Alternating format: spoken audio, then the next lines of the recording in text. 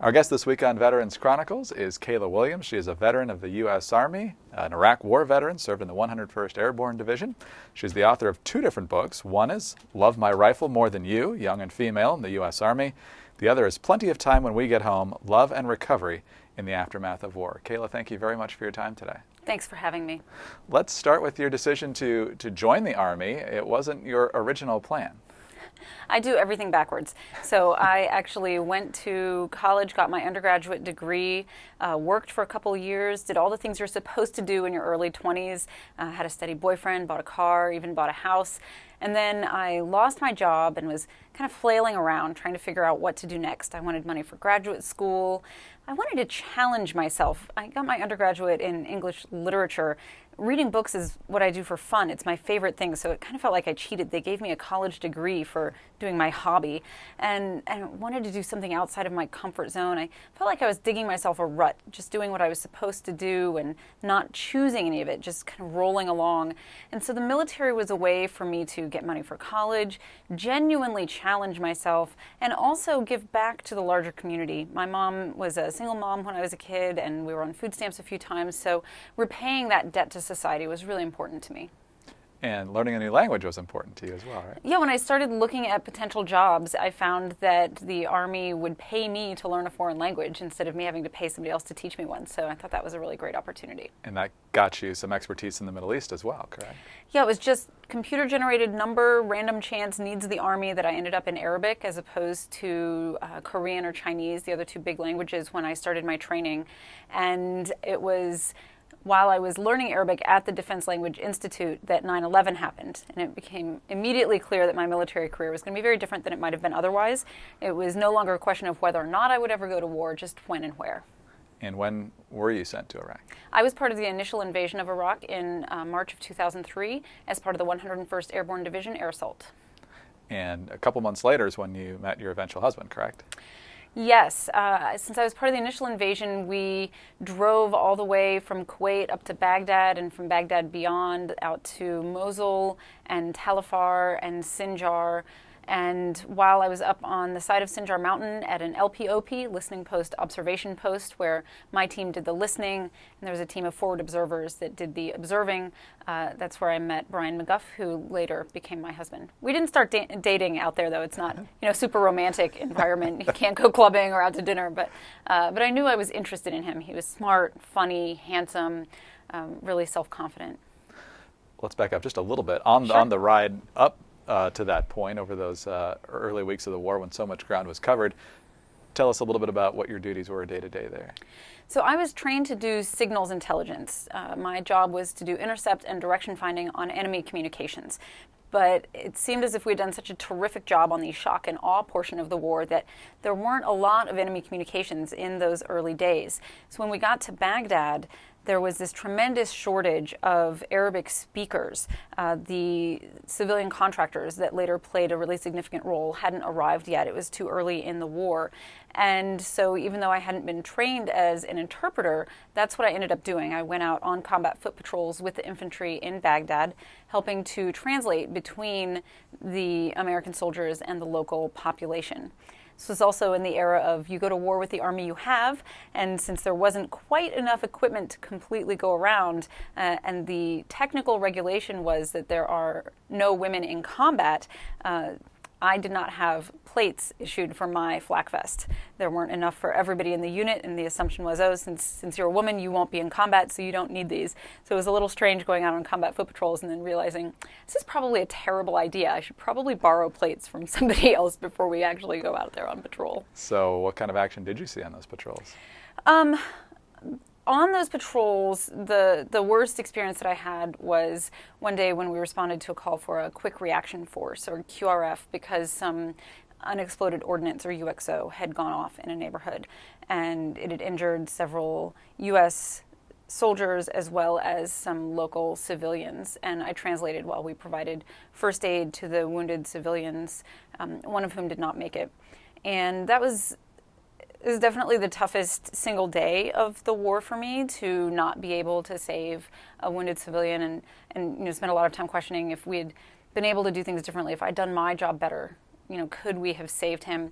that was really tough. Um, during other parts of the initial invasion, there were times that we took small arms fire.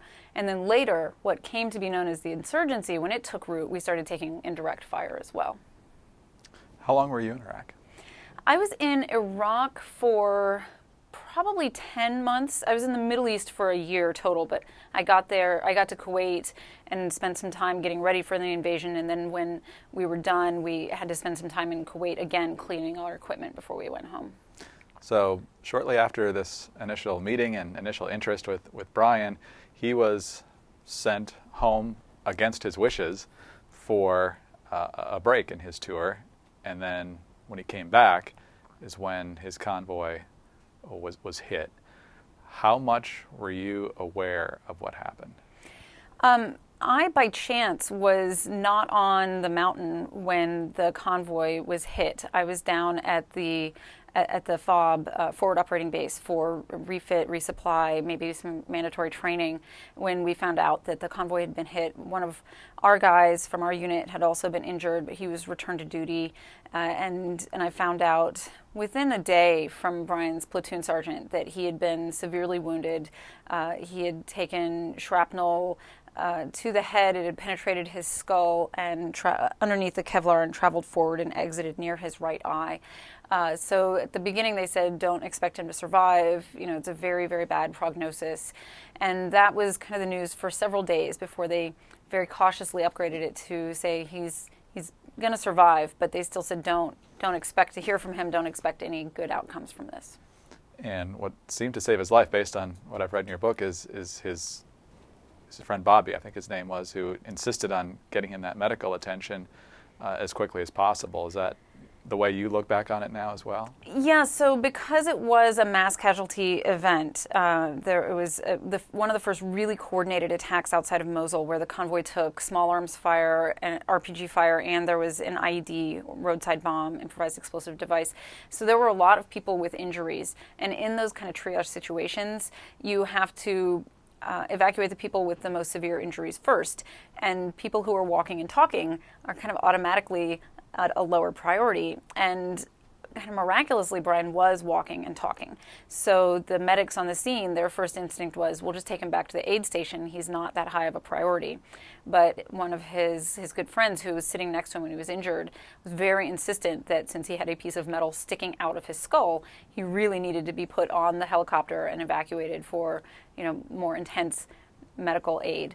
And luckily, he was able to talk them into it, and, and he was Brian was put on the on the helicopter and taken down to uh, Baghdad for emergency neurosurgery.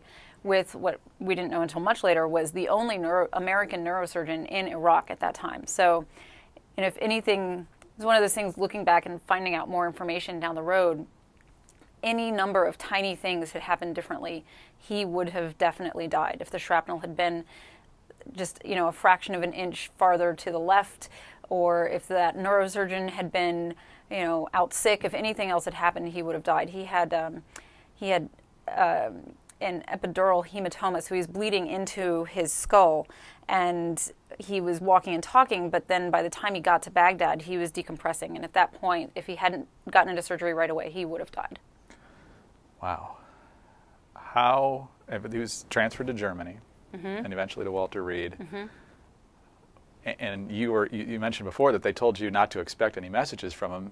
Yet, I don't remember how long it was, but you did get emails back from him when you touched base with him. Right. So the neurosurgeon uh, who operated on him in Baghdad thought that he would never be functionally independent, that he would he might never even walk again, and would never be able to care for himself. Uh, but he he survived and did far better than anyone expected that he would. So when he made it, he, he was stabilized in Landstuhl, Germany, and then sent back to, to Walter Reed Army Medical Center in, in D.C. And uh, he started to do fairly well, much better than they would have expected. And so he emailed me to let me know that he had survived and that it seemed like he was going to do okay. Um, that was probably November by the time I heard from him. He was injured on October 17th of 2003, so it was several weeks before I heard from him, but we struck up a very cautious flirtation through email, which is always terribly awkward, uh, and and started to get to know one another a little better. So because he seemed to be doing so much better than what you were told to expect, was it your impression that he still had obviously some recovery to do, but for the most part, he'd be okay? I didn't know anything about brain injuries. So, since so many people are really just lazy in email, I didn't connect the fact that his emails had a lot of errors in them to his brain injury. I was just, it sounds so stupid knowing what I know now, but when he said, Yeah, I think I'm going to be okay, I just took that at complete face value and did not. I did not understand at all what the recovery from a brain injury, what that path can look like. And I didn't know anything about PTSD or post traumatic stress disorder, and so wasn't expecting that to be, you know, a comorbidity to, to also um, develop. So I really just, oh, he's, here's this, this great guy who's emailing me. So uh, I was just excited and didn't either was blind to or maybe willfully ignored any signs that anything was wrong. Just about a minute before we hit our break here, it's interesting when you first met, you kind of had this uh, playful friction of, mm-hmm. of banter, maybe is, is, the best way to put it. And so there were kind of these good natured insults uh, going back and forth. And so then when you reconnected, there were kind of moments of flashes of anger and, and, and, that sort of thing. Did, did you think that was still part of that original personality, or were you starting to kind of see at that point that this is changing a lot? You know, in those early days, I was still dealing with my own reintegration as well, and I was dealing with a lot of flashes of anger. And so many of the other soldiers that had come home with us from the Middle East were exhibiting symptoms of post traumatic stress of some kind, so trouble sleeping and angry outbursts and you know hyper aware of potential threats. So since that was kind of my normal for, for me and for other soldiers that I had come home with, I didn't see it initially as abnormal for Brian either. Okay, we'll take a short break, come back and continue this conversation in just a moment on Veterans Chronicles. Our guest this week on Veterans Chronicles is Kayla Williams. She's a veteran of the Iraq War, 101st Airborne Division in the U.S. Army. Her most recent book is Plenty of Time when we get home, love and recover in the aftermath of war. And uh, Kayla, obviously, much of this book deals with both of you dealing with the uh, severe traumatic brain injury that, that, that Brian dealt with. But just before the break, you were talking about how it was tough to pick up on, on some of the problems he was having as a result of your own transition and reintegrating back into uh, American society. And I think that's part of the book I think a lot of people appreciate as well because so many people who don't necessarily go through something as traumatic as Brian did still struggle in that way. And it's something that a lot of people who don't go through it don't understand. So, mm-hmm. talk about your decision to, to explain that quite at length in the book and, and how you hope that might help some other people.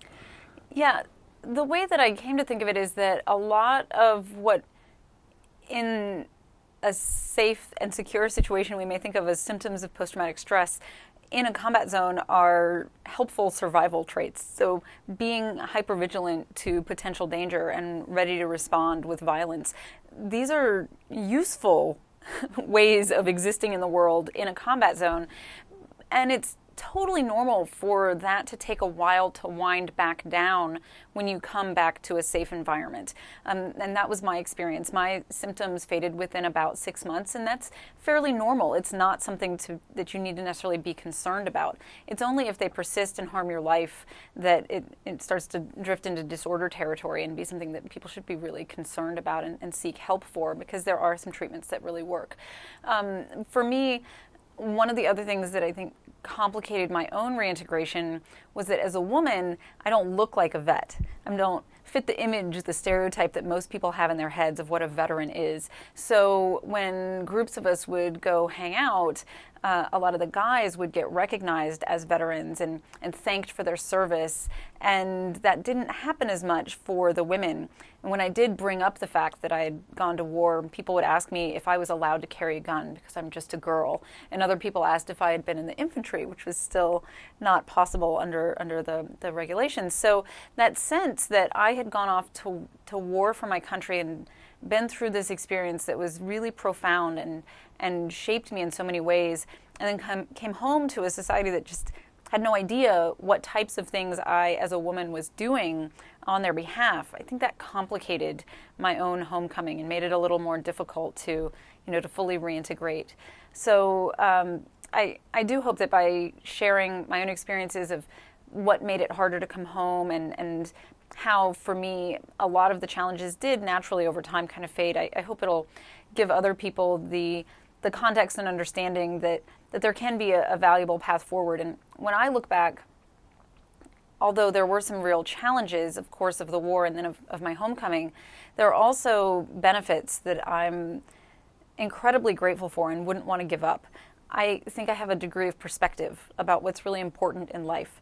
I don't care if you leave the toilet seat up because I'm still pretty happy that we have a toilet. Uh, I, I understand how incredibly lucky I am that my children will grow up uh, able to access medical care and really at very low risk of violence. The chances of bombs falling in our neighborhood are so low. And, and that, that sense of, of deep and visceral understanding of how lucky I am to live in modern America is, is something that I would never want to give up. Kayla, you, tell the story uh, of all the different episodes, of course, that happened with uh, Brian's insomnia and uh, some flashes uh, of anger. Um, the one story you tell was you just brought a foreign movie with subtitles, and uh, he really had really struggled with that. Um, yet in, I think it was February of, of 2005, uh, you got married after several months of, of, dealing with your own reintegration and, and some of his struggles. Some people may look back and say, wow, that's really kind of a volatile situation. What convinced you, I mean, obviously you had feelings mm-hmm. for each mm-hmm. other, uh, to, to pursue a, a, a marriage? Yeah, so we'd been dating for about a year at that point, and Brian had been transferred back to Walter Reed because he was not getting the care he needed at Fort Campbell. He had initially been sent from Walter Reed back to Fort Campbell, and he was just slipping through the cracks. He had a um, a provider in charge of his care who didn't know anything about TBI, traumatic brain injury, or PTSD, and was not getting him the care he needed. So we, we worked to get him transferred back to Walter Reed. And then my own time in the military was going to end before too long. And so in some ways, it was this practical decision. Okay, I will be able to go with him to his medical appointments. I will be able to have my household goods shipped there and, and keep my health insurance when I leave active duty. But of course, love is a big part of it, and, and sometimes the heart the heart wants what it wants and isn't isn't always terribly rational.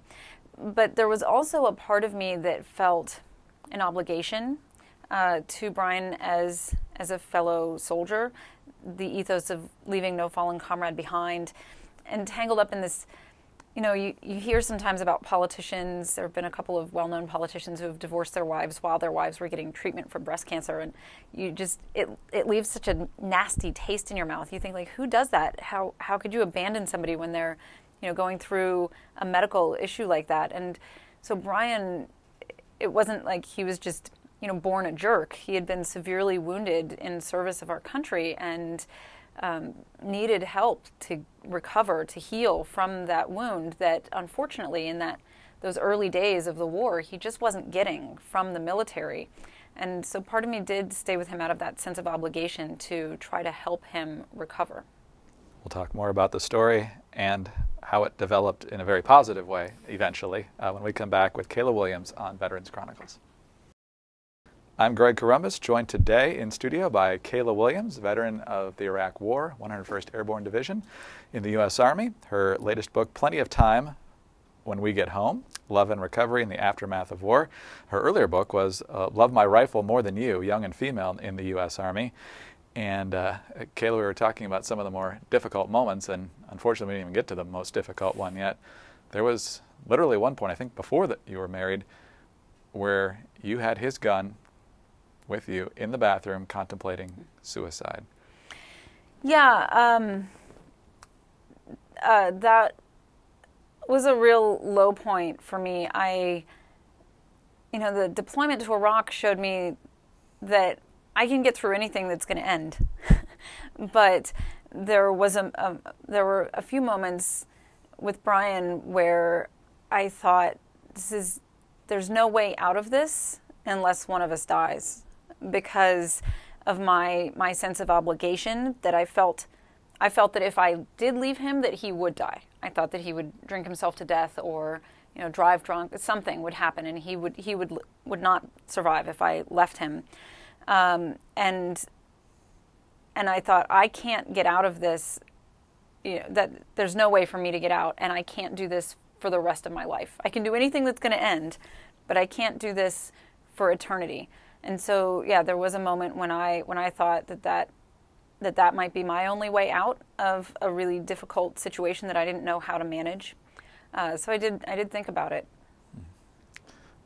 Interestingly, one of the big turning points was when you needed to be taken care of. You were doing some rock climbing and broke an ankle and kind of seemed to snap in, in, into a caretaker mode, which you've obviously had been in for such a long time. Right. Um, right after we'd had a real crisis point in our marriage, I, I went rock climbing with a buddy from the army, uh, and I fell and broke my ankle. And Brian had to take care of me, and I had to let him. and that role reversal was really important for a number of reasons. Partly because he was no longer able to just sit around and, and let me take care of him. He had to go and, and do the grocery shopping. He had to do the cooking. He had to do the cleaning. He had to um, take ownership for his life and, and mine as well to an extent for a while. And I, whether it's because I was in the military or it's just my natural personality, uh, I, I tend to do all the things. So if, if I'm not really good at talking about somebody's feelings, but if there are tasks to be done, I'm really great at accomplishing lots of tasks. So dealing with Brian's injury, I just accomplished everything. I just I took care of everything that needed to be done. And when suddenly I couldn't do that anymore, and I was forced to sit on the couch, uh, I was in a situation for the first time. I had to really try to put myself into what it would be like to feel that way. Um, instead of just doing things, I had to think about things. I had to empathize with how it was for him to have some of his capabilities taken away from him. And uh, and I also noticed how quickly, when I couldn't do all the stuff I wanted to do, I started to get depressed and, and stop doing anything. You know, I, I, I stopped answering emails, I stopped doing anything useful, and just sat there and felt sorry for myself. And that really helped me empathize with where he was. And it started to kind of reset our relationship in a healthier, more balanced level where we were beginning to be more equal as a couple. And, in another way, much later, that, that seemed to help you a lot was meeting people who have been through similar situations. I think it was a Vote Vets group. Mm-hmm. Uh, talk about that experience and how that helped. Yeah, so when Brian was finally medically retired from the Army, we both ended up temporarily on unemployment. I had a job offer, but it was taking a while to process all the paperwork to bring me on board. And he was just retired um, with kind of shorter notice than we expected after two years in the in the system of trying to get him retired. So we both ended up on unemployment, and it was this was this thing we were really ashamed of to feel like we're both combat veterans, we've we've served our country, we've done the right thing, and we're both on unemployment. How is this happening?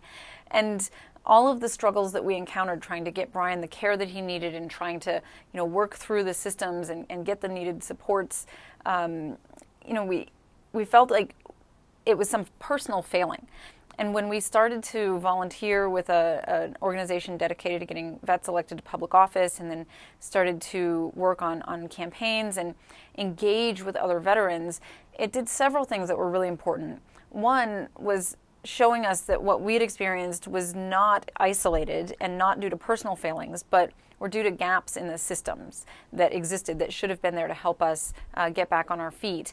And two, gave us a community of people like us to work with on, on affecting positive change. Having that community was really valuable because we were able to bond with other people and, and share our experiences, be around people who didn't look at us like we were crazy if we flinched at sudden loud noises because they knew what it was like. Talk to people who had been in the same places who who understood the, the same spoke the same language that we did, the same army language that we did. That was really valuable. And then also working towards positive change, taking our own experiences instead of hiding them and being ashamed of them, uh, talking about them publicly to say, here's what we should do to try to improve things for all the people that are continuing to come home after us. And instead of just letting the terrible things that had happened to us, you know, mar our own existences to, to try to find a way to grow from them and, and to try to um, find that post traumatic growth and, and that deeper connection to society and find some meaning in our lives uh, as, as a result of and, and coexisting with the history of trauma. Let's talk a little bit about some of the frustrations along the way. Uh, you talked about the VA and the government's uh, lack of a coherent uh, system to, to address what you were dealing with and so many other veterans' families are, are dealing with. There was the, the Walter Reed condition scandal right around that same time. More recently, obviously, uh, the VA has been in the spotlight again. Um, what were the biggest frustrations for you specifically, and do you, do you feel like those are getting addressed now? So, when Brian was going through the VA disability rating process, his was actually processed really quickly. I guess that was one of the benefits of being injured early in the war. Um, but for me personally, I think the, the biggest frustration was that there were no resources back then for caregivers. Uh, there, there was nothing in terms of training or support groups or information given to me as a wife, uh, as a spouse, about this is what traumatic brain injury is like, this is what post traumatic stress disorder is like, here's how it might affect your family, here's what you can do, here's what you should do, here's how you can take care of yourself and not let this break you in the process. So that was for me a really huge gap. And I think that there has been a tremendous amount of work done to try to, to fill some of that. Um, there are training programs available now at most VAs provided by um, NAMI, the National Alliance for Mental Illness, um, on um, how on, uh, for caregivers. Um, there's a general one for mental illness, and there's a specific one for PTSD that's being rolled out. Um, there are a lot more support systems, even for children now. There, there's just been a lot of investment on the DoD side and in the nonprofit world on how to support um, veterans and, and military families as a, as, a, as a whole. And then, as well, uh, on the VA side, they've learned so much. Uh, in the past, um, it's been over a decade now, and, and I think are much better able to provide a lot of needed resources. I mean, when I first got out, VA was not doing nearly as good of a job of reaching out to uh, women veterans, and, and that outreach has really in, improved and increased, and um, we're much more likely to be recognized now when we walk into a VA as veterans ourselves instead of you know the assumption being that we're there just as a spouse. So that's been a, it's been an, it's been heartening to see the improvements as they've come. Certainly, I believe that there's more work to be done, and, and hope that you know we as citizens will encourage those continued changes with congressional oversight and adequate funding. But but it has been really rewarding to play some small role in encouraging the positive developments that have taken place another issue, and you mentioned it a little bit before when you, you go to a bar or somewhere with, with other male veterans and they'd be recognized and, and the women oftentimes would not be. Uh, this is one of the first wars where, you know, you go back to World War II or Korea or Vietnam, most families had some sort of connection to somebody in service. Less so this time. Mm-hmm. Um, and so when you wrote your first book, you talk about it in here, not only were you going through a very difficult part of your, of your marriage at that point, but you were getting ridiculous, gruesome questions from people who didn't really have any understanding of what was going on there. What's your, how frustrating was it to go through all that and then have so many people who either weren't paying that close of attention or didn't really understand the right way to respond to what you'd been through? Yeah, that that was definitely a challenge when I came home. The the sense that you know, the American public was kind of oblivious to the fact that we were at war. Um, that's something that hasn't necessarily changed. But one thing that I am concerned about today is that in some ways it feels as if there's this kind of weird dichotomy where the public perhaps perhaps in some ways feeling guilty about how few of us do serve or have served recently um, almost lionizes those who are serving really puts troops on a pedestal, and uh, I believe the U.S. military is currently the most trusted institution in America. Uh, and there's this just this almost blind support of of the troops in this very generic sense, um, not questioning any aspect of you know what what the military wants and just oh we have to give the generals what they want and and that I think in a democracy is a little dangerous and unhealthy and maybe when more people have served or when you know more people who can serve, you can ask more probing questions, ask more difficult questions about what is the best way to employ our forces and, and you know what what controls do we want in place over our military? We have civilian controlled military for a reason in, in our democracy. Um, but then the flip side, so we, we, we lionize troops while they're serving, but then once we become veterans, it's almost like civilians then think that we're broken, right? Like, oh, yeah, you were in the military, so they just there's this assumption that we're all unemployed, homeless, suicidal, maybe homicidal. There are these headlines that are just atrocious sometimes, like um, SWAT teams to get training on dealing with ticking time bomb veterans, and you know this just this focus on all the negatives. Um, you know, the vast majority of service members, when they become veterans over a lifetime, veterans are more highly educated, more highly employed, more highly paid than their civilian counterparts who have never served. Um, but yes, there are.